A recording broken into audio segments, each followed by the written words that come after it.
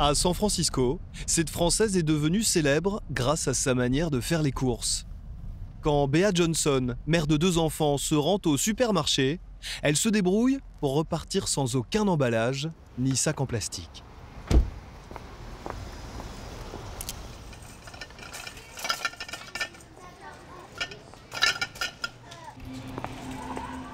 Ça commence au rayon charcuterie. Bonjour. Uh, let me see, what do I need?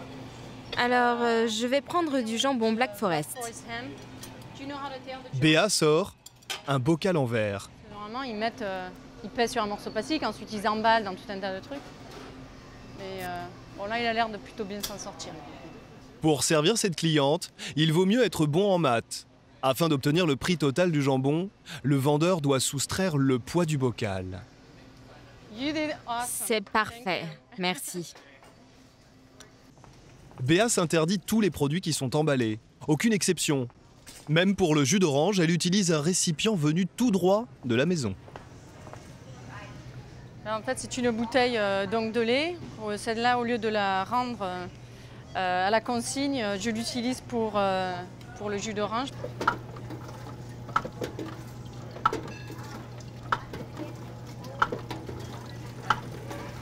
Au rayon légumes à présent, Béa inspecte tous les produits.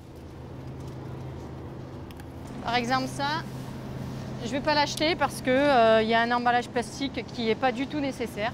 Des carottes, en voilà ici avec une étiquette en élastique, d'autres dans un sac en plastique. Je continue un peu plus loin, mais ici on en a qui sont donc euh, vendus en vrac, donc il suffit d'en prendre quelques-unes. Et pour le beurre de cacahuète, grande spécialité américaine s'il en est, une machine le fait sur place. Pas besoin d'emballage. J'adore vos cheveux, c'est pour ça que je viens ici. Ces méthodes de consommation très écolo, Bea Johnson les partage publiquement sur un blog depuis maintenant 6 ans. Gros succès, il a été consulté 7 millions de fois. Elle a aussi écrit un livre, en anglais et en français, 25 000 exemplaires rien que chez nous. Sa démarche, écrit-elle, permet d'éviter de gaspiller et de faire de sacrées économies. Quand on achète un produit emballé, 15% du prix couvre le coût de l'emballage. Donc quand on achète en vrac comme on le fait, on fait, des éco- on fait 15% d'économie d'emblée. Et ce n'est pas un hasard si Bea Johnson a mis cette méthode au point à San Francisco. Une ville de 800 000 habitants, connue pour son Golden Gate, mais aussi pour bousculer les règles établies. Une ville dont la politique avant-gardiste en termes de déchets est en train de devenir une référence mondiale. Et cela grâce à un texte en forme de coup de poing voté par la municipalité. En 2020, la ville de San Francisco doit atteindre l'objectif de 100% des déchets recyclés. Le but final, ne plus jamais incinérer ou enfouir de déchets sous terre. Sacs plastiques, gobelets de café, pots de banane, tout doit être réutilisé. Aujourd'hui, San Francisco atteint déjà le chiffre de 80% de recyclage, alors qu'en France, nous n'en sommes qu'à 60%. La différence peut sembler faible, mais elle implique en réalité d'immenses efforts. Comment la ville s'y prend-elle pour changer les pratiques des habitants et des entreprises? Et nous, en France, de quelle méthode pourrions-nous nous inspirer? Pour commencer, San Francisco joue d'abord sur un levier très efficace, le porte-monnaie. C'est prêt, à table. Le tri version San Francisco n'est pas évident à comprendre, alors parfois Jessica demande à ses enfants une récitation pendant le petit-déj. Alors, quand vous épluchez une pomme, où vont les restes Compost. Compost. Et une bouteille en plastique. Au recyclage. Recyclage. Et les sacs en plastique, vous savez où ils vont? Euh... Recyclage? Non, il n'y a pas d'endroit pour recycler les sacs plastiques. C'est pour ça que les gens les jettent ou les abandonnent. Et après, on les retrouve dans l'océan. À San Francisco, le système de tri tourne autour des trois fantastiques, comme on les appelle. Des poubelles dont les règles sont beaucoup plus complexes qu'en France. Il faut même sacrée mémoire. Dans la poubelle verte, il y a les déchets végétaux et les restes de nourriture. À cela, on rajoute une subtilité, les cartons alimentaires souillés par la nourriture. Le tout servira plus tard à faire du compost. Dans la poubelle bleue sont déposés les produits recyclables, la canette de soda, les emballages en carton propre ou même en plastique dur, et les bouteilles de verre. Sans oublier les journaux et les papiers. Et pour compliquer la chose, merci de ne pas les mouiller. Enfin, la poubelle noire, on met tout le reste, tout ce qui n'est pas recyclable. Les petits emballages plastiques comme un sachet de chips, un sac de course, mais aussi les gants en caoutchouc ou encore le polystyrène. Le but pour San Francisco, c'est de réduire au maximum l'utilisation des poubelles noires non recyclables et d'augmenter toujours plus les poubelles bleues et vertes. Puisque les règles sont complexes, il faut de la discipline. En cuisine, Jessica pose des poubelles partout, y compris dans le congélateur.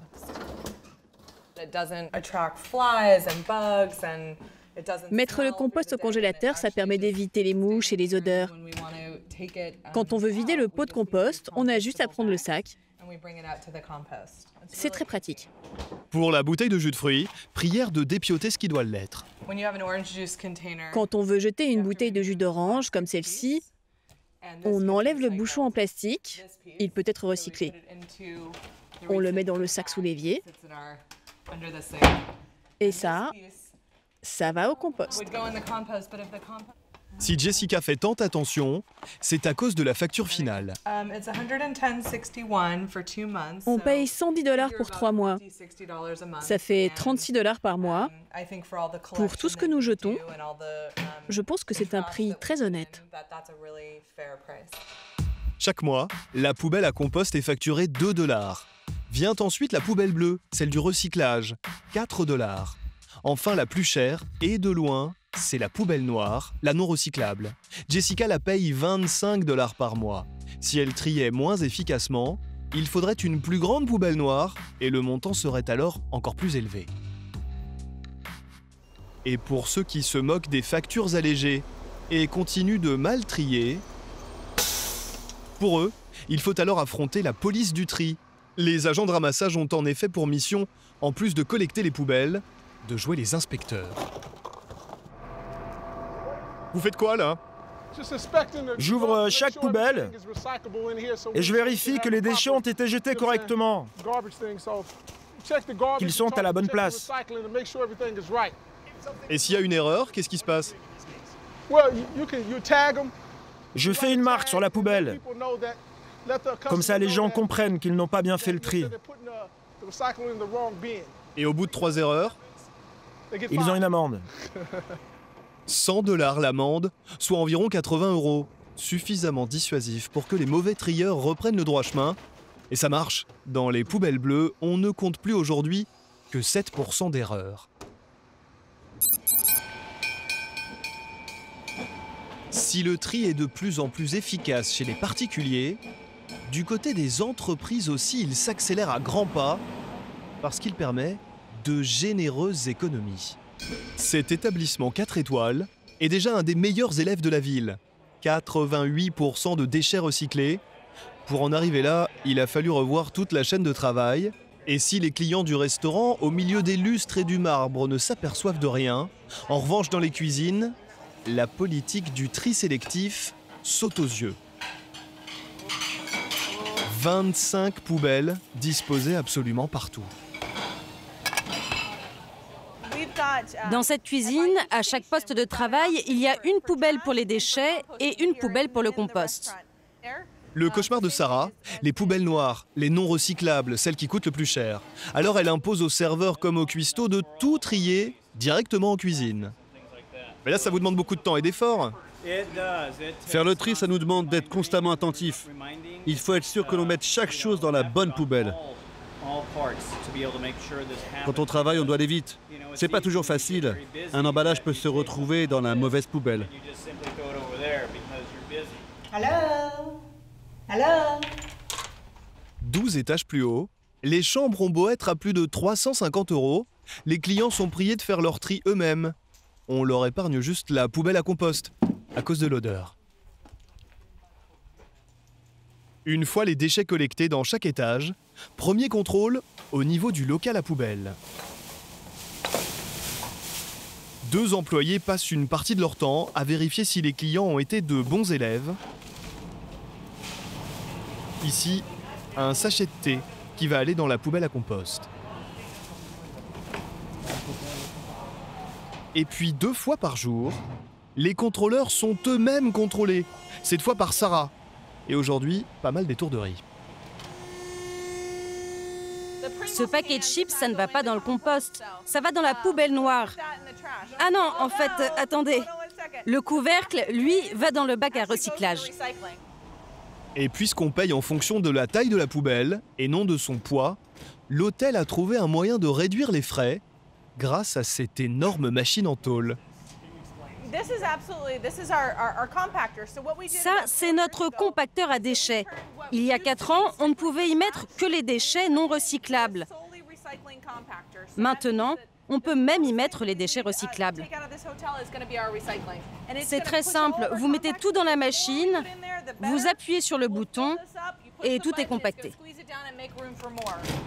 Une fois dans la rue, les poubelles de l'hôtel sont donc moins nombreuses, ce qui allège d'autant la facture.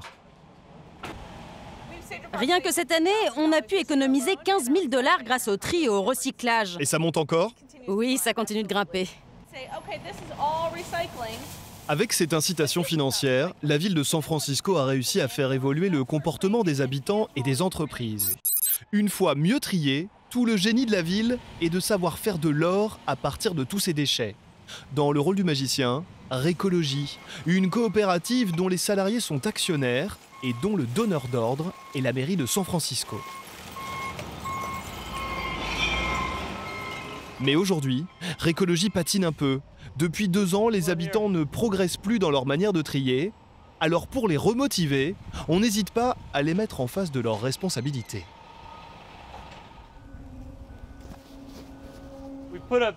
On a mis des photos sur les camions poubelles. Ce que nous voulons, c'est que les gens regardent leurs déchets en face. Le reste du monde cache ses poubelles. Les gens jettent, les camions viennent ramasser leurs poubelles et on ne sait jamais ce qu'elles deviennent. À San Francisco, on veut que les gens regardent leurs déchets comme les éboueurs le font chaque jour. Récologie incite les habitants à trier toujours plus parce qu'ici, la coopérative a les moyens de traiter au mieux les ordures. La poubelle bleue, celle des déchets recyclables, est réceptionnée dans ce gigantesque entrepôt où l'on trie 16 matières différentes, du carton à l'aluminium. Au total, 700 tonnes par jour quand les plus grands centres français ne dépassent pas les 200 tonnes. Une fois ce processus terminé, Récologie revend ses matières. Le plâtre part dans des entreprises du bâtiment en banlieue de San Francisco. Le métal, lui, est transporté à travers les États-Unis direction des fonderies. Quant au carton, il est revendu en Chine. Pour Récologie, c'est tout bénef. L'entreprise est rentable, environ 8 millions d'euros de marge par an. Et les poubelles, les plus lucratives, ce sont les vertes, celles du compost.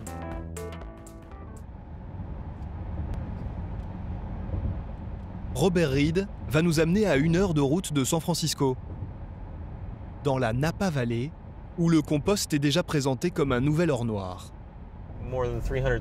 Aux États-Unis, plus de 300 villes ont déjà copié notre programme de tri et recyclage des déchets. Notre modèle de compost a été repris par un millier d'universités. Rien que l'année dernière, 150 Français sont venus pour découvrir notre programme.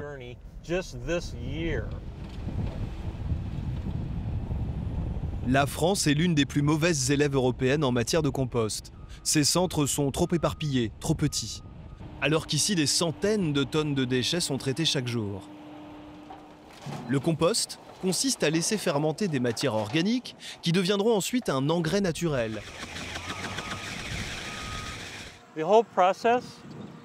Le processus total dure actuellement 60 jours, presque deux mois. Et à l'avenir, ça pourrait être encore euh, réduit ce temps?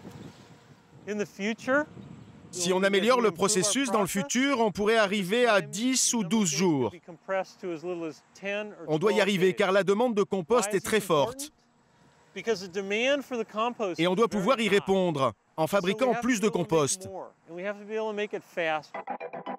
Les premiers acheteurs de compost, ce sont les vignerons, et pas n'importe lesquels. L'endroit où nous sommes n'a presque rien à envier au château bordelais. Ce domaine est vieux de 130 ans, réputé mondialement, est désormais abonné au compost.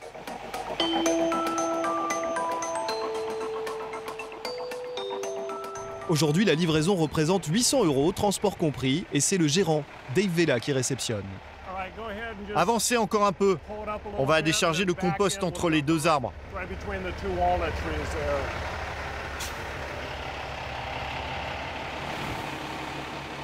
Le compost livré aujourd'hui coûte le même prix que l'engrais chimique utilisé auparavant dans le domaine. Regardez, c'est le sang de la terre. Sentez-moi ça, on sent l'humus. C'est très bon pour la terre. C'est une matière extraordinaire. C'est d'une qualité fantastique. Je pense que c'est le meilleur engrais pour un sol. C'est en valorisant ces ordures de cette manière que San Francisco a réussi à afficher le chiffre impressionnant de 80% de recyclage. Mais pour atteindre les 100%, il faudrait faire bien plus. Que les habitants aillent beaucoup plus loin encore dans le changement de leurs habitudes, tous les experts l'attestent. Un modèle peut les inspirer. Bea Johnson, notre Française rencontrée au supermarché. Aujourd'hui dans sa maison en banlieue de San Francisco, pour éviter d'acheter des produits emballés, elle improvise un atelier cosmétique. Je suis en train de faire euh, un gloss pour les lèvres. C'est euh, tout simple, euh, tout con, à base de deux ingrédients. C'est simplement de la cire et de l'huile.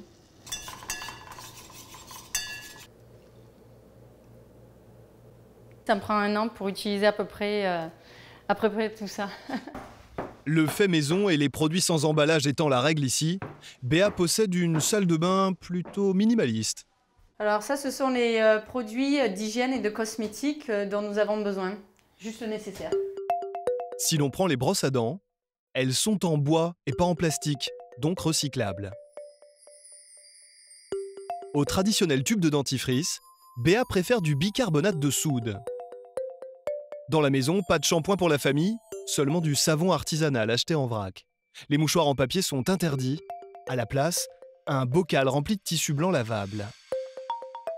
Comment cette Française est-elle devenue une des icônes du 100% recyclable? Bea Johnson est originaire d'Avignon. À 18 ans, pour apprendre l'anglais, elle arrive comme jeune fille au père dans une famille de San Francisco. Elle rencontre Scott, son futur mari. Tous les deux se laissent séduire par des films, des documentaires sur l'écologie et puis en 2008, avec la crise, Scott perd son travail. Béa décide alors de sauter le pas et de moins consommer, pour moins dépenser mais aussi produire moins de déchets. Elle, la styliste, l'ancienne diplômée d'une école de mode, va jusqu'à tirer un trait sur le shopping. Salut les garçons, je vous ai préparé un goûter. Au bout d'un an, la famille réalise un tiers d'économie sur tous les frais du quotidien, y compris la déco pour le moins minimaliste. Les Johnson ont beau habiter dans le pays champion mondial de la consommation, les enfants ne sont pas si perturbés que cela. Pour l'aîné, c'est même devenu une banalité. À part son ordinateur, il ne réclame quasiment aucun produit. En fait, ça m'est complètement égal de ne rien avoir dans ma chambre. Euh, je préfère avoir une chambre très simple plutôt qu'une chambre remplie de posters. C'est tes parents qui t'ont forcé à dire ça? Euh, Non, non, j'ai jamais ressenti le besoin d'avoir plein de trucs collés sur mes murs. Tu peux nous montrer ton placard? Il y a quoi à l'intérieur? Euh, Voilà, il y a mes vêtements, mes livres pour le lycée. Et c'est tout C'est tout. Trois pantalons, huit t-shirts, aucun gaspillage donc. Et ça se ressent côté déchets. Béa, on va aller voir maintenant vos poubelles. On est à quelques kilomètres de San Francisco et ici, euh, vous avez trois poubelles également. Enfin, tous les habitants ont trois poubelles. Sauf que vous, il vous en manque une dans le box ici, je crois. On va regarder. À quoi ça ressemble euh, Vous verrez qu'il manque donc la noire.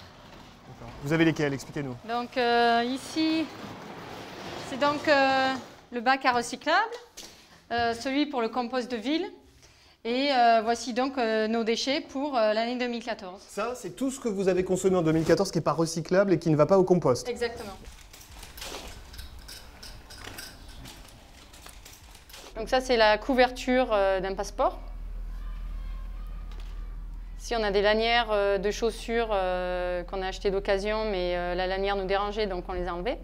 Ici, les étiquettes d'un bagage qu'on a dû enregistrer à l'aéroport.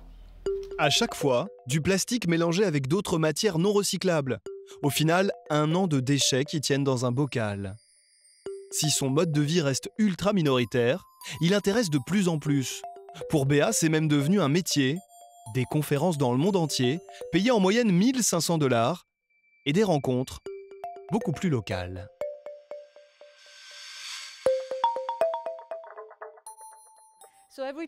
À chaque bout de plastique que vous recyclez, dites-vous bien une chose, ce bout de plastique est fabriqué pour aller à terme à la décharge. Aujourd'hui, Béa est devant des parents d'élèves pour les convaincre de modifier leurs habitudes et pour se faire entendre, elle multiplie les anecdotes. J'ai trouvé comment couper mes cheveux. Vous mettez votre tête en bas, vous faites une queue de cheval comme ça, et vous coupez. Et voilà, ce qui est bien, c'est que maintenant, je peux composter mes propres cheveux. Votre démarche est très extrême, ça peut être paralysant pour ceux qui veulent se lancer. Avez-vous des conseils à donner à ceux qui n'ont pas forcément votre patience et votre temps? Vous pensez vraiment que j'ai le temps? C'est votre croisade, vous êtes sur Terre pour faire ça, non C'est votre mission. Si vous en faites votre priorité, vous saurez par quoi commencer. Vous trouvez bien le temps d'aller faire les magasins. C'est devenu ma priorité, car je veux un meilleur avenir pour mes enfants. Une vie où tout serait recyclable, comme le prévoit San Francisco, cela devient déjà un argument de vente pour certains géants mondiaux de la distribution, Bea Johnson vient de signer un contrat pour conseiller le groupe IKEA afin de les aider à concevoir des meubles réutilisables.